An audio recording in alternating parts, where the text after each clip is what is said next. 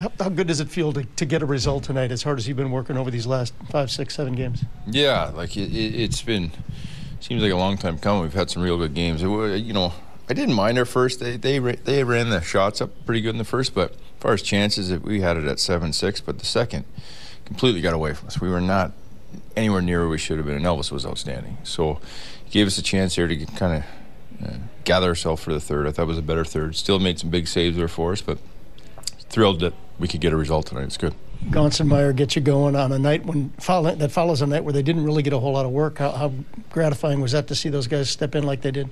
Yeah, it's huge. You get a couple goals right away from them, right? I, I told them they're going to play more than they did the other, and I know it was limited just due to the circumstance, but um, they got us rolling. They almost scored a third one there right at the end of the first. So that was huge for us to get that kind of contribution from that line. What kind of jump does it give really everybody when you see a guy like Carson Meyer, second game in the NHL, get in there and, and get a couple like that? Yeah, they got the puck for him when he got the assist, and then next thing you know, he got his first goal. He almost had a second one there too, if it, that stick got in there. So, no, it was big. Uh, happy for him. Uh, he, you know, he's a he's an honest worker. He he puts out the effort out there. So good for him you have uh, tasked your goaltender to play a, big stretch of games here and kind of fight mm-hmm. through any tiredness or anything like that. And he's playing well. Do you? I mean, you said he made some big saves tonight. Do you like what you've seen out of him through all this? Yeah, he, has got to feel it, you know. And, and this is one of those games. If he's not on, we don't win this game. There, there's no question. So, you know, he's got 38 shots on him in two periods, which is, you know, that's ridiculous. It's too much. Um, but he stood in there. It's a 2-2 game, and we're one shot away from getting lead, which is what happened. We had a better third. But these are the things that we want him to feel on a back-to-back, and he's going to get peppered sometimes. And so he, he stood to the challenge. This is great for him. Was there a thought to go with Berube tonight, or no? Or? No, you you haven't been around. He's going to play them all. I want him. I want him in the net. You, uh, you've gotten a lot of goals from your bottom quote unquote bottom six forwards right now. Mm-hmm. Some of the top guys have gotten a little chilly, you might say. How big have they been to sort of keep you guys afloat offensively? Yeah, you know, they, they our top guys ran hot for a long time. I mean, Patty was on a pace. It was, you know, for two months. He yeah. was 19 and 22 or something like that, right? So you're going to slow down. It, it's just it's impossible to keep going at that pace. So for us to get wins, you're going to have to get contributions. You know, the Danforth and these guys, we get it from our fourth line, and, and, and that's the only way you're going to survive if you don't get contributions from other lines. So, um, you know, the perfect storm is everybody's on at the same time, which is very rare when it happens. So you enjoy it when it does, but, um, you know, we're, we, we've been fighting here last several games to get that. You know, we'd scored a lot of goals this year, and we've kind of cooled off. So we hopefully we can get back rolling here soon. I think like you said with the penalty killing effort tonight, to not let them have one on any of those four. Yeah, it's tough. I mean, we're we're four times in the box. We don't have a power play, so for the, the PK to come through, and, and again, some big saves in there too. You know, Elvis made some some timely saves on those.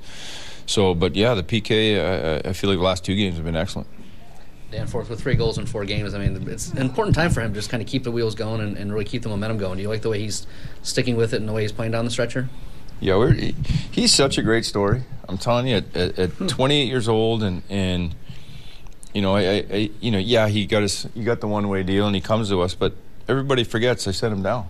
You know, he didn't have a good camp, and and he's a centerman, and we put him on the wing, and he, so he wanted to play wing.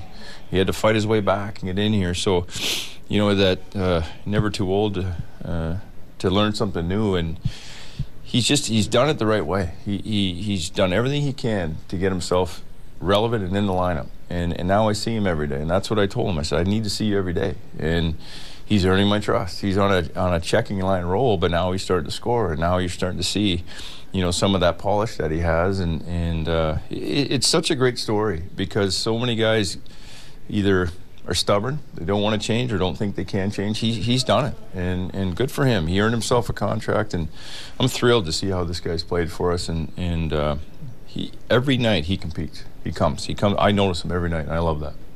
What does it say to you? Cole Sillinger could have had easily an empty net goal. Mm-hmm. Tonight he gives it up to the veteran player. What do you make of that decision and that play? I'm not surprised at all.